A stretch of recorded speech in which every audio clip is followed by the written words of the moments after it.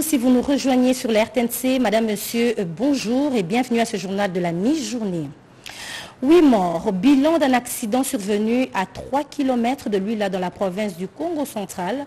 L'accident s'est produit à 3 heures du matin suite à un excès de vitesse d'un camion remorque qui a percuté un camion de grumes.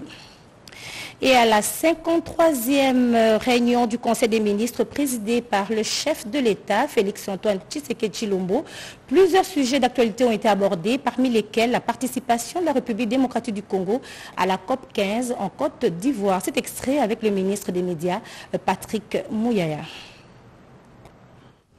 Le président de la République, chef de l'État, Félix-Antoine Tshisekedi Chilombo, a présidé ce vendredi 13 mai 2022 en présentiel à la Cité de l'Union africaine, la 53e réunion du Conseil de ministres. Cinq points étaient inscrits à l'ordre du jour. 1. Communication du président de la République. 2. Point d'information. 3. Approbation d'un relevé des décisions de Conseil de ministres. 4. Examen et adoption des dossiers. 5. Enfin, examen et adoption de projets de texte. Le premier point à l'ordre du jour du Conseil de ministres de ce jour, portant sur la communication du Président de la République.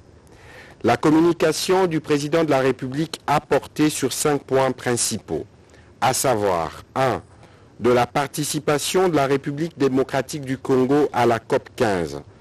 Le Président de la République, chef de l'État, a informé le Conseil de sa participation le 9 mai 2022 à Abidjan, en République de Côte d'Ivoire, à la, à la 15e conférence de partie à la Convention des Nations Unies sur la lutte contre la désertification, sur le thème Terre, vie, héritage, de la rareté à la prospérité. Au cours de son intervention durant ces assises, le président de la République a rappelé l'urgence de mutualiser les efforts au niveau mondial dans le cadre de la mise en œuvre du plan cadre stratégique décennal de la Convention afin de permettre l'inversion des tendances de la dégradation des terres et de préserver les ressources hydrauliques.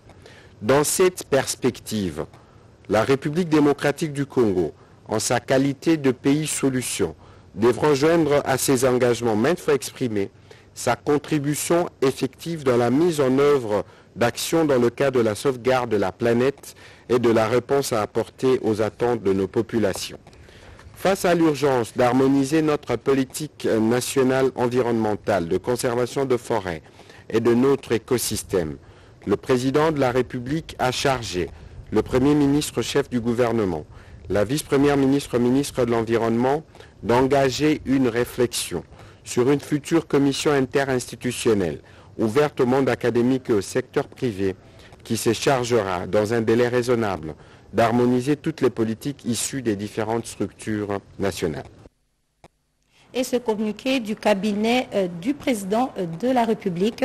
Son Excellence, Monsieur le Président de la République, Félix Antoine Tshisekedi Chilombo, chef de l'État, a appris avec émoi la disparition ce vendredi 13 mai 2022 euh, de son Altesse Khalifa bin Zayed Al Nayan, émir d'Abu Dhabi et président de la République des Émirats arabes unis. Le chef de l'État présente au nom du peuple congolais au sien propre ses condoléances, les plus attristées à l'endroit de son Altesse Mohamed bin Zayed Al Nayan, prince héritier d'Abu Dhabi, la famille de l'illustre disparu, ainsi qu'au peuple émirati. Le président de la République salue la mémoire et le leadership de l'illustre disparu qui a œuvré à la modernisation et au rayonnement de son pays sur la scène internationale, de même qu'à l'initiation de la coopération renforcée entre les Émirats arabes unis et la République démocratique du Congo. Ce communiqué a été signé par le directeur du cabinet du chef de l'État, Guilet Niembo. Au niveau de l'Assemblée nationale, les élus du peuple lèvent les options sur quelques thématiques euh, de la révision de la loi électorale. La thématique 9 sur la représentativité de la femme dans la liste des électeurs a suscité un débat au niveau de cette chambre législative, nous dit euh, Sylvie Mouembo. Ce ne sont pas des femmes qui manquent, mais au contraire, ce sont des hommes avec une volonté politique qui manquent. Chers collègues, nous avons un devoir de génération. Les trois législatures passées, ce n'était pas moi, ce n'était pas vous. Ce n'est pas un hasard si dans un pays de 100 millions d'habitants, vous êtes parmi les 500 députés qui siègent à l'Assemblée nationale. Alors je vous en supplie, chers collègues, regardez d'autres pays, regardez d'où nous venons avec le Zaïre. Certes, certes, il y a des choses à faire, nous disons oui, mais nous avons ce devoir de génération à voter pour ces débuts d'une longue marche vers la représentativité euh, de, toutes les couches sociales. Si nous voudrions, n'est-ce pas, déclencher le développement, cela ne se fera pas de manière sectorielle, cela se fera de manière globale, y compris la femme. Et un peu plus loin, je vais ajouter, la femme est plus majoritaire que les hommes dans ce pays. Devons pousser les femmes à aimer la politique. Devons pousser les femmes, devons susciter les vocations féminines dans l'ordre politique. Ça, c'est un travail. C'est un travail à la fois civique, c'est un travail à la fois patriotique, c'est aussi un travail à la fois mental.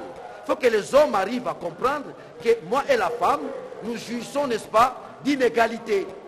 Le président, malgré la recevabilité de la loi, le président pour la paix politique a estimé qu'on devait faire une petite trêve pour rappeler et l'opposition et toutes les couches de la société de ramener les éléments qui pouvaient, pour, qui est fâché ou qui pouvait faire objet d'un consensus. Contrôle parlementaire au Sénat, deux membres du gouvernement Samalou Kondé ont répondu jeudi dernier aux questions orales leur adressées par les sénateurs Denis Kambayi et Christine Wando. Olivier Mouenze, ministre des Ressources hydrauliques et électricité, a éclairé la lanterne des élus sur l'avancement des travaux du projet de la centrale hydroélectrique de Katende parlementaire au Sénat, deux membres du gouvernement Samalou Kondé ont répondu jeudi aux questions orales leur adressées par le sénateur Denis Kambaye et Christine Mwando. Olivier Mwende, ministre des Ressources hydrauliques et électricité, a éclairé la lanterne des élus des élus sur l'avancement des travaux du projet de la centrale hydroélectrique de Katendi.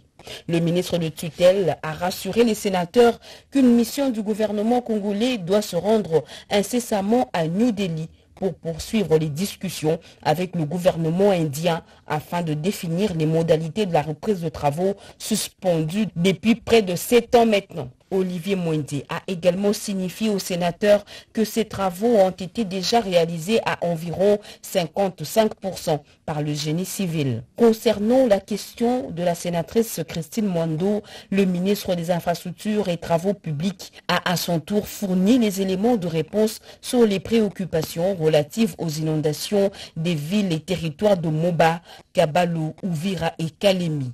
Alexis Guissaro, qui a donné des réponses relatives à la question principale, a par ailleurs renseigné la plénière sur les travaux de construction et de réhabilitation des routes déjà amorcées dans plusieurs provinces. Toutes ces réponses n'ont pas rencontré l'assentiment de l'initiatrice de la question orale qui a souhaité inviter le Premier ministre Jean-Michel Samaloukonde au Sénat pour donner des réponses aux différentes préoccupations qui touchent plusieurs secteurs de la vie nationale. En ce qui concerne les réponses données par notre ministre des Infrastructures, je signale au ministre en passant que nous allons bientôt aller en vacances parlementaires. Je recommanderai à tous les sénateurs ayant reçu le document de notre ministre qu'à notre retour des vacances parlementaires, nous allons faire un rapport. Et nous espérons qu'au retour de ce rapport-là, nous aurons d'autres éléments plus positifs à mettre dans notre rapport de vacances parlementaires. Pour conclure, honorable président, j'invite le bureau à nous référer à notre article 174, alinéa 4 de notre règlement d'ordre intérieur, qui stipule une fois par mois, le Sénat détermine la séance des questions au gouvernement. Le Premier ministre, accompagné des membres de son gouvernement, se met à la disposition du Sénat. Présidée par le speaker de la Chambre haute du Parlement, Modeste Bahati, la plénière a aussi validé l'objet de l'interpellation de la ministre de la Justice, Droits humains et Garde de Sceaux, un mécanisme de contrôle parlementaire du sénateur Papi Bazegou. Ce dernier veut connaître l'état des infrastructures carcérales en RDC et les conditions d'hébergement des détenus. Le Premier ministre a séjourné dernièrement en Afrique du Sud où il a participé à la grande rencontre d'Indamba Mining sur place. Euh, Jean-Michel Samaloukonde avait reçu une délégation de la Chambre des mines. Ensemble, ils ont évalué le secteur minier en République démocratique du Congo. Patti Tondouango, reportage. Faire un état des lieux du secteur minier congolais, c'est ce qui a conduit la délégation de la Chambre des mines auprès du Premier ministre Jean-Michel Samaloukonde Kienge. Le président de la Chambre des mines a fait part au chef du gouvernement des différents problèmes qui entravent la bonne marche de ces secteurs. Et donc nous avions voulu euh, faire l'état des lieux, faire part euh, de certaines de nos préoccupations pour euh, planter le décor pour que le retour au pays, nous puissions euh, en discuter et trouver des solutions. En tout cas, nous avons trouvé une oreille très attentive. Il était très disposé à nous écouter. Il nous a largement donné le temps de nous exprimer. Et même nous avons convenu d'avoir un cadre de concertation qui trimestriellement pourra se retrouver à Kinshasa autour de lui euh, pour faire une évaluation. Et nous tenons d'abord à saluer cette initiative de notre chef de l'État ainsi que son homologue zambien. Nous avons, en tant qu'ambassadeur de la Polytechnique Unilo euh, contribuer aux discussions aussi en faisant asseoir aussi la Polytechnique Unilo sur la table afin qu'on puisse lancer euh, ce centre de recherche avancé de la batterie. C'est un exemple qui doit aller très loin et qui peut montrer ce que deux pays peuvent faire ensemble. Deux pays dépositaires du cuivre et du cobalt que le monde entier veut. Deux pays qui estiment qu'ils peuvent euh, profiter de cet avantage compétitif pour faire une place dans cette industrie à multi, multi-milliards de dollars. Parce que le potentiel de notre pays, en fait, reste intact. Euh, mais c'est à nous de le réveiller, c'est à nous de capitaliser euh, sur ces opportunités pour pouvoir réellement développer notre pays et rendre notre population plus heureuse. C'est une oreille attentive que cette délégation a trouvée auprès du chef du gouvernement, Jean-Michel Samalou à Cape Town, en Afrique du Sud. Voilà, et dès son retour à Kinshasa, le Premier ministre a tenu une réunion avec les ministres des différents secteurs et les autorités de la PNC, question de voir comment mettre fin aux embouteillages. Les problèmes des embouteillages dans la ville-province Kinshasa, le Premier ministre tape le poing sur la table. Les éléments de la police seront suffisamment renforcés pour régulariser la circulation routière dans la ville, un véritable casse-tête pour la population. De son retour de Cape en Afrique du Sud, Jean-Michel Samal King a présidé une réunion ce jeudi 12 mai. Comme vous avez suivi le compte-rendu du Conseil de ministres passé, le président de la République avait recommandé au Premier ministre de réunir à nouveau l'équipe gouvernementale spécifiquement sur les questions des embouteillages et de comment on fluidifie la situation dans la ville de la province de Kinshasa. C'est à ce titre que le Premier ministre a présidé cette réunion autour de moi qui avait le ministre d'État chargé des infrastructures de transport, le gouverneur de la ville, mais aussi les chefs de l'armée et de la police, parce qu'il est question de regarder comment on fait pour arriver à trouver une solution. Alors, beaucoup des, pistes, des propositions ont été relancées parce qu'il y avait déjà des actions qui ont été euh, menées par les passés, mais qui a un besoin du renforcement de ces actions. C'est ainsi que dans le jour qui vient, la police est en train de prendre des mesures qui permettront de euh, débloquer certaines voies et de dégager la circulation, mais il y a évidemment des solutions à long terme qui ont été envisagées, notamment le changement de la loi, l'adaptation des codes de la route, mais aussi une grande invitation a été faite à la discipline, particulièrement aux motards et à tous ces conducteurs qui ne respectent pas toujours l'autorité établie parce qu'il il a été décidé qu'au cours de cette réunion, la police sera suffisamment renforcée pour que lorsque la police indique euh, les, voies à suivre, que tout le monde puisse aligner. Voilà un peu en synthèse ce qui a été dit dans la réunion d'aujourd'hui. Et le Premier ministre, ministre des Affaires étrangères, a participé au sommet de la coalition de lutte contre le Daesh tenu à Marrakech, au Maroc. Euh, sur place, Christophe Lutundoula a eu également euh, des échanges avec le ministre des Affaires étrangères marocain. Doris Mozo, reportage en marge de la 9e conférence ministérielle de la coalition internationale contre le Daesh, le vice-premier ministre, ministre des Affaires étrangères et de la coopération internationale, Christophe Lutundula Palapé Napala, a eu un tête-à-tête avec Nasser Bourita, ministre marocain des Affaires étrangères. L'excellence des relations entre les deux pays a été saluée et l'engagement de lutter contre le terrorisme pris d'autant plus que la République démocratique du Congo fait face à cette gangrène dans sa partie orientale. Au cours de ces échanges, le royaume chérifien se félicite du soutien de la République démocratique du Congo au respect de l'intégrité territoriale du Maroc. Oui, d'abord, je dois dire que le président Félix Antoine Tshisekedi Chilombo est fier de l'amitié de Sa Majesté le Roi et de l'ensemble du peuple marocain vis-à-vis du peuple frère de la RDC. Ensuite, euh, vous savez que le Maroc, euh, c'est un pays frère, un partenaire traditionnel depuis 1960. Et pour toutes ces raisons, euh, le président Tshisekedi attache la plus haute importance, le plus grand intérêt à nos relations avec le royaume du Maroc. Ensuite, euh, les initiatives de Sa Majesté sont certainement appréciées, pratiquement pour la RDC, dont la Constitution prévoit à son article 217 euh, l'option de l'africanité de la RDC, c'est-à-dire que la Constitution a consacré la vocation africaine de la RDC, qui est pays cofondateur, ne l'oubliez pas, de l'Organisation d'unité africaine devenue l'Union africaine. L'échange a aussi permis au Maroc d'affirmer son soutien au processus de Nairobi entamé depuis peu dans le cadre de la communauté des États de l'Afrique de l'Est. Veiller sur la mise en œuvre de la politique régionale de la SADEC sur l'agriculture et des programmes qui lui sont associés, l'une des recommandations prises au terme des travaux de la réunion conjointe des ministres de la SADEC en charge de l'agriculture, sécurité alimentaire, pêche et agriculture. Marthe Manganza a signé ce reportage. Les rideaux sont tombés ce vendredi 13 mai aux travaux de la réunion conjointe des ministres de la SADEC en charge de l'agriculture, sécurité alimentaire, pêche et aquaculture à Lilongwe au Malawi. Les ministres ont adopté les documents de décisions prises comme feuille de route dans le secteur agricole des pays membres de la SADEC. Ils ont examiné la situation de sécurité alimentaire par rapport aux défis que rencontrent les régions à la suite de la sécheresse les plus abondantes et les flambées des maladies transfrontalières des plantes et animaux. Les ministres du secteur agricole des pays membres de la SADEC ont également passé en revue la mise en œuvre de la politique régionale de la SADEC sur l'agriculture et les programmes qui lui sont associés. Le ministre congolais de l'agriculture, Désiré Zingabirionze, et son collègue de pêche et élevage, Adrien Bokele, ont chacun, en ce qui les concerne, présenté les désidérata pour la bonne marche de leur secteur respectif. C'est à ce titre qu'après un examen minutieux des décisions, une à une,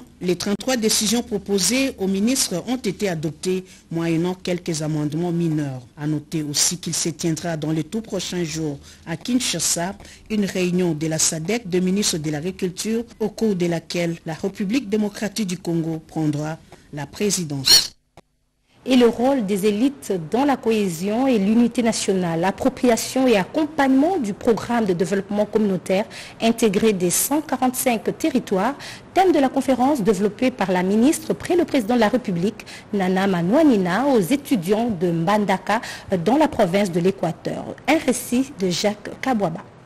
Ce contact direct entre la ministre Kepré, le président de la République, et les étudiants de la ville de Mandaka a permis une compréhension exacte sur les biens fondés de la vision du chef de l'État pour le développement de la République démocratique du Congo. Au cours de ces forums intellectuels, les étudiants à travers un thème de le rôle des élites dans la cohésion et l'unité nationale, appropriation et accompagnement du programme de développement communautaire intégré des 145 territoires. Un bon pédagogue, professeur, Nana Manonina Kumba a éveillé la conscience de ces intellectuels sur l'importance de vouloir vivre et faire ensemble, gage national pour le développement communautaire intégré des 145 territoires. Aujourd'hui, nous disons tous que nos provinces ont été abandonnées depuis plus de 30 ans. Depuis plus de 30 ans. Et c'est pour la première fois qu'un président de la République s'est dit, le développement doit commencer à la base. Il faut un projet qui soit réalisé à la base, qui travaille avec les gens de là, qui donne la chance à la population. C'est là où nous exhortons la crème intellectuelle, de pouvoir s'approprier d'abord le projet et de pouvoir accompagner le projet. S'en est suivi un jeu de questions-réponses entre l'oratrice et la jeunesse étudiantine de Mandaka qui, par la même occasion, a apprécié ces messages et a promis son accompagnement de cette vision du grand de la nation à la base. La revalorisation de la main-d'œuvre passe par la formation professionnelle et l'appropriation des métiers. Le ministère de la formation professionnelle entend nommer plusieurs partenariats pour participer à la création d'une classe moyenne. Et la ministre Antoinette Kipoulou a échangé euh, tour à tour avec l'ambassadeur d'Espagne en République démocratique du Congo, de Chine et le DG de l'ICCN. Un commentaire de Cédric Kenina. Avec les diplomates espagnols en poste à Kinshasa, Carlos Robles, il a été question de la toute dernière mission de la ministre de la formation professionnelle Antoinette Kipoulou en Espagne. Les partenariats qui se dessinent entre ces ministères et la firme espagnole Edibon International, spécialisée dans la conception et fabrication des équipements didactiques destinés à la formation professionnelle, a figuré à l'ordre du jour. Et là-dessus, les diplomates espagnols comptent s'investir pour son aboutissement. Des partenaires belges dans la suite du deuxième vice-président de l'Assemblée nationale, Vital Banyamou porteur de projets de réinsertion des enfants de la rue ou encore en situation difficile, et ce à travers plusieurs filières dans trois centres. Dans un autre registre, Madame Cécile Mwando a présenté deux projets à la patronne de la formation professionnelle, dont le premier concerne la formation de près de 1400 jeunes de Kinshasa et l'autre concerne l'industrialisation de la production d'un produit local, le chikwang. L'ambassadeur de Chine, Zhu Fing, lui s'est focalisé sur l'accroissement des investissements chinois dans la création des centres d'apprentissage. Et pour finir, entretien à huis clos avec le directeur général de l'ICCN, Olivier Moucheté, une séance de travail par la suite qui annonce un protocole d'accord sur le projet commun de relance du centre de formation du domaine des chasses de Bombolumene et la vulgarisation de la loi des finances, présentation de la circulaire, motif de la ronde dans plusieurs provinces du pays de la délégation des conseillers du ministre d'État du budget en programmation et de suivi du budget de l'État exercice 2021. Diane Balak a signé ce reportage. L'identification de la population et le recensement ainsi que le financement des opérations électorales sont les axes prioritaires contenus dans la loi de finances exercice 2022. Ce test qui retrace les budgets de l'État de cette année est en cours de vulgarisation dans les 26 provinces du pays. C'est au profit des services qui interviennent dans la mobilisation de recettes et la chaîne de dépenses pour compte du pouvoir central et des entités territoriales décentralisées. Nous avons euh, présenté l'économie de ces deux outils de travail de finances publiques. Nous sommes aussi très contents des échanges fructueux autour des finances publiques de notre pays. Donc nous pouvons dire que ça a été une réussite pour nous.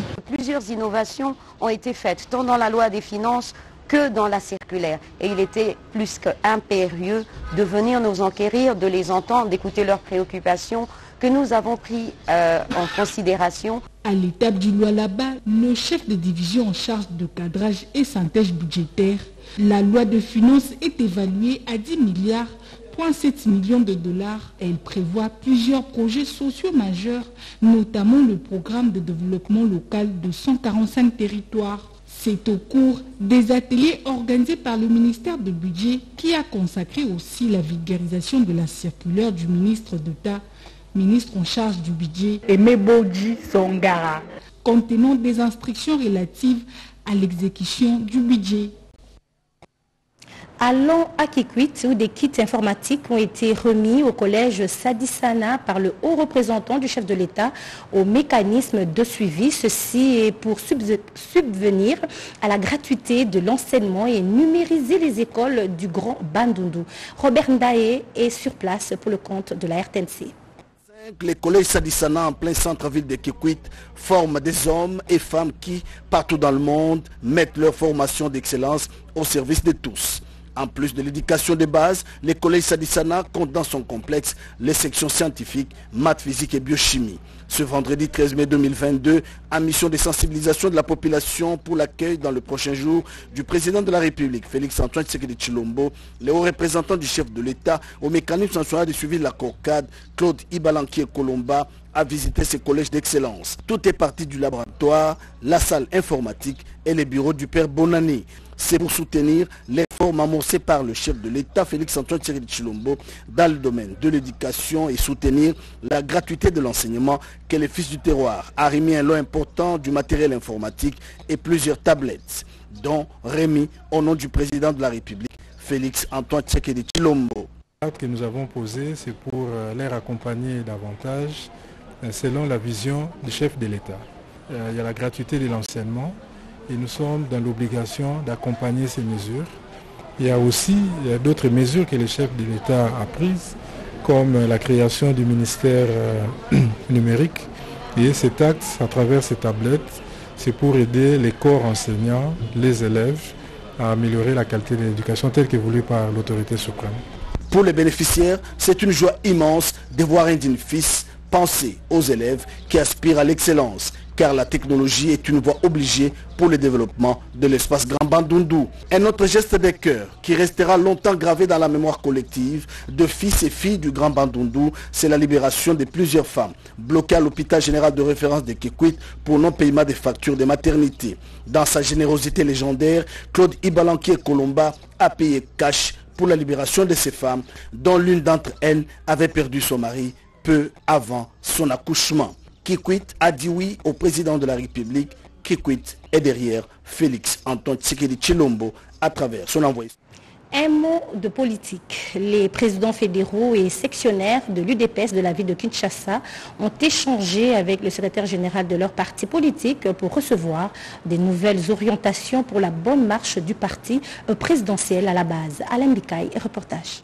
Ils sont venus des 24 communes de Kinshasa pour recevoir des nouvelles directives et orientations pour la bonne marche du parti présidentiel à la base. Les présidents fédéraux, sectionnaires et cellulaires du parti d'Etienne Tshisekedi ont été rappelés à l'ordre, surtout au respect de la hiérarchie à tous les niveaux. Sur un ton ferme, le secrétaire général a appelé les uns et les autres à travailler dans la discipline et dans le respect des textes statutaires de l'IDPS, faute d'observance de ces dispositions et de nouvelles lignes de conduite, des mesures dragoniennes seront prises à l'encontre des récidivistes, a-t-il insisté. Nous sommes partis au pouvoir, nous devons prêcher par l'exemple en respectant les autorités publiques, surtout à ne pas poser les actes qui n'honorent pas le chef de l'État Félix Antoine Tshisekedi Chilombo à renchérir Augustin Kabouya. Poursuivant sa communication, le chef de l'exécutif national de l'IDPS a présenté à l'assistance la nouvelle fiche d'identification des membres et les machines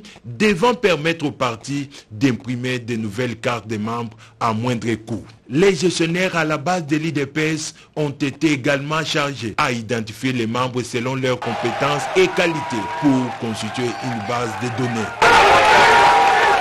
Et nous allons nous quitter avec cette matinée scientifique des corps des élites de l'UDPS dénommée Science au service du peuple, où la numérisation des services publics de l'État était parmi les points abordés lors des échanges, nous dit encore une fois Alain Bikaï.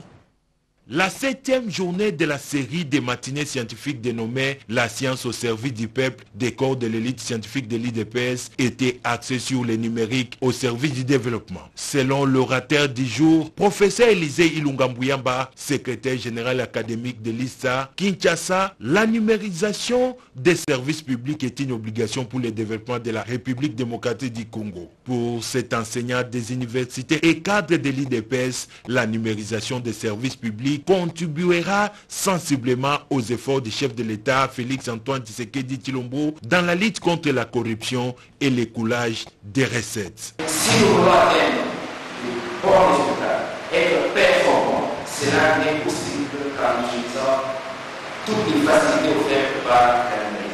Les corps de l'élite scientifique de l'IDPS s'est engagé à accompagner le président de la République pour la matérialisation de sa vision. Si la DGDA fait des recettes actuellement, c'est aussi grâce à sa plateforme numérique. Il a parlé de Sidonia, il a parlé de ISIS Régie pour la DGI, on parle de plus de 1 milliard 500. Tout ça, c'est le numérique. Si on migre vraiment vers le numérique, et qu'on cherche à s'adapter, on va créer d'autres emplois. Cette structure informelle du parti présidentiel va organiser du 14 au 15 juin prochain une conférence débat au Kempeski Hotel qui connaîtra la participation de la crème intellectuelle du pays. Fin de ce journal, merci de nous avoir suivis. Bon week-end et bonne suite de programmes sur nos antennes.